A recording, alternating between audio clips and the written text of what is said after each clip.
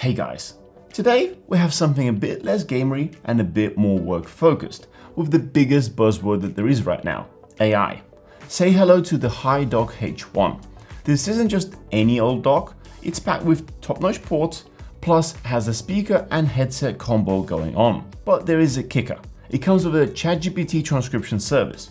Honestly, it's pretty cool, so stick around as I dissect these features and go over the reasons why it's earned a spot on my desk. Let's dive right in and see what it's all about. First, let me address the elephant in the room.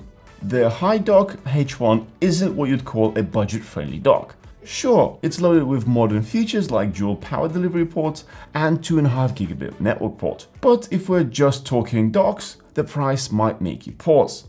The good news is there's more to the HiDock than meets the eye. The star of the show with the HiDock H1 has to be its ChatGPT integration, with the two-way sound processing, which is total win for handling meetings. Yes, you could technically record your meetings, rig up your own ChatGPT setup to transcribe and spit out similar results. But with this device, it's all integrated so there's less work to do. Before diving into the details, let's get a feel for the device itself, which will make things a bit clearer. The HiDock H1 is essentially made up of four key components. First, there is the main dock unit, which is decked out with a variety of buttons and dials, and it has two speakers with passive radiators tucked underneath to get that extra oomph in sound. Then there's the neat attachment that houses the wireless earpiece. This isn't your typical in-ear bud, it's an over-ear wireless headset designed to fit comfortably on either left or right ear. But having said that, I really wish you could use your own Bluetooth headphones with it. I prefer blocking out the background noise during meetings to focus solely on the person I'm speaking with. At the moment, it seems like there is no support for external Bluetooth devices, well at least just yet. Rounding out the setup is the 150 watt power supply brick, which not only juices up the dock, but can also power your laptop and if needed your phone or any other gadgets on your desk. I appreciate that the power brick itself is designed to be slim and wide, making it easy to tuck away under the desk, though that might just be a personal preference. The dock itself can dish out up to 118 watts through its two power delivery ports, the main Type-C port offering 100 watt power delivery charging and serving as the upstream port. Additionally, there is another Type-C port on the side that not only supports 18 watts power delivery charging, but also boasts a 10 gigabit data transfer speed, adding a nice touch of versatility to the mix. Turning our attention to the back of the unit, you'll find three more USB ports awaiting your peripherals. There's a Type-C port with 10 gigabit capability and two Type-A ports, with the first supporting 10 gigabits and the second 5 gigabits. Right along these, there are two HDMI ports capable of delivering 4K video at 60 Hz, complemented by the high-speed 2.5 gigabit network port we mentioned earlier. On the left hand side there is Bluetooth 5.2 sync button as well as version 4 dual SD card reader. It supports both micro and standard size and is running at high speed.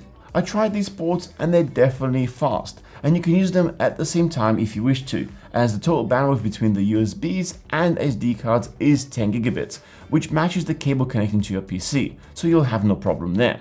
This dock takes more of a thoughtful approach than just cramming as many ports as possible. The selection is practical, focusing on what generally is useful, like the easily accessible SD card reader and side port for charging or data transfers for your phone. Moving on to the front, there is a neat setup with the four buttons, a slider and a clickable scroll wheel. The scroll wheel is nifty feature for adjusting volume of your connected device, and a quick click turns it into a play pause button. You also get the standard buttons for answering and ending calls, and muting the microphone. My only nitpick? I wish the mute button was click free for smoother experience and less chance of anyone on the other side hearing the click. If for some reason the noise reduction doesn't work. The HiDock also includes a feature called HiDock Key. Press and hold it for one and a half seconds to start and stop recording. A quick tap during recording drops a bookmark. It's handy for highlighting important points or setting reminders. Another notable feature is the red slider, which adjusts noise reduction. However, it's unique because it reduces background noise from the person you're talking to, not your own environment, as that is already done with the AI noise reduction. This is useful if the other person is in a noisy place, but it might slightly lower their voice volume. While testing this out, I found it's quite helpful, though it does have its limits. Welcome to HiDock Bidirectional Noise Cancellation Demo. In this demo, we will play audio with various background noises. By moving the red slider up and down, you can experience the noise reduction performance. During the demo, you can exit by pressing the Hang Up Call button at any time. I ran into a few issues when switching the dock between different devices. Occasionally it just wouldn't connect.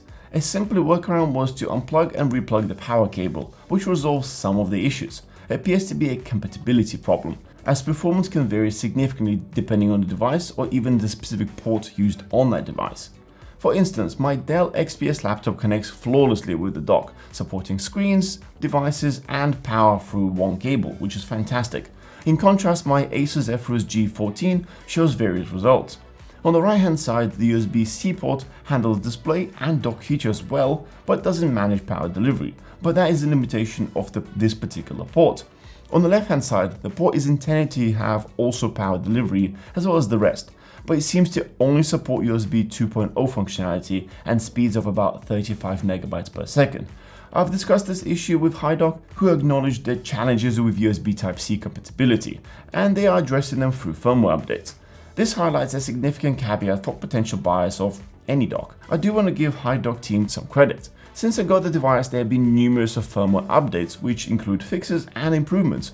If you're curious to get some more insights into the device and user feedback, I really recommend checking out their release notes or updates and comments on Kickstarter page. One example is the E1 wireless headset. It's a bit of a mixed bag, especially for someone wearing glasses. I found it was somewhat uncomfortable and trying to put it on during the meeting could be a bit awkward. Occasionally E1 could not detect if it's on my ear, causing sound to emit from both the dock and the headset at the same time, which isn't ideal for privacy.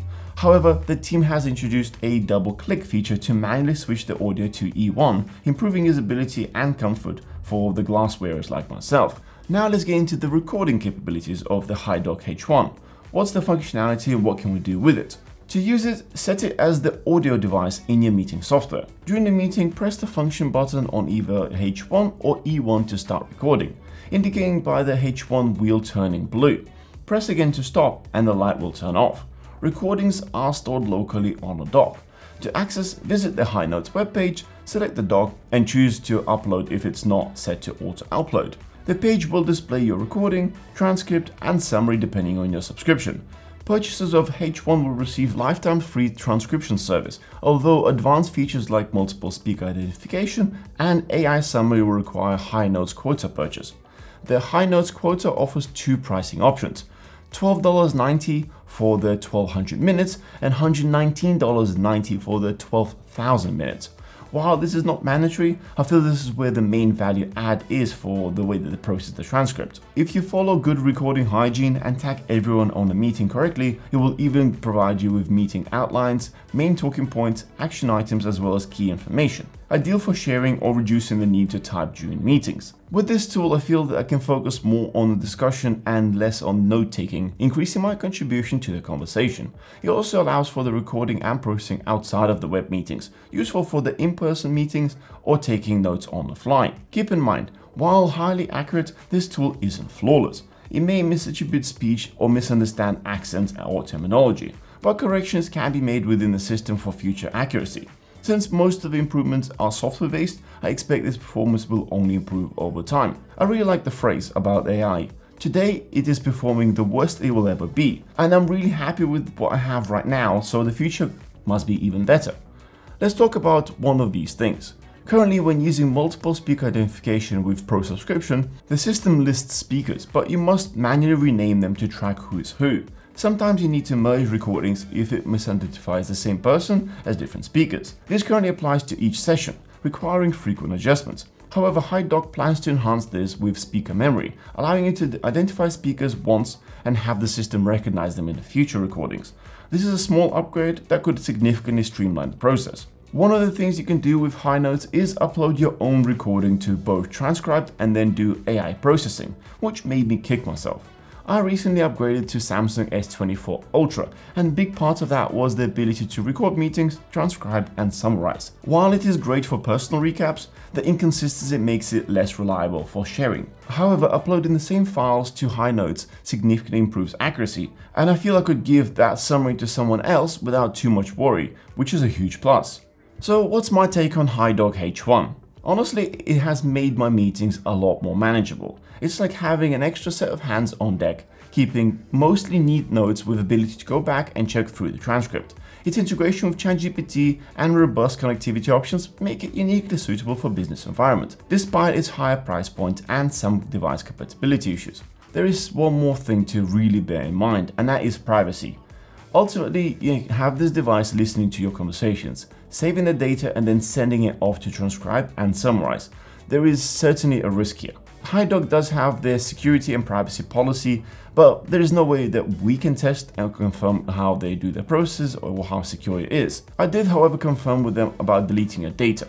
They have ability to delete everything from their accounts, which will be done immediately, and there is an option to delete individual recordings. Once you select recording to be deleted, this will wipe local files immediately, but the data in their cloud will be deleted within a month, as per their sync process, which is worth keeping in mind. As a fairly new product, it does have some bumps to even out. However, if they keep continuous firmware improvements and supporting their users, I see this as an overall great product. If you are a professional looking to streamline your workspace, I can see this dock can justify the expense. Thanks for watching. If you think that HiDock H1 might be what your desk needs, check out the links below for more details. Don't forget to like and subscribe. We'll see you guys in the next one.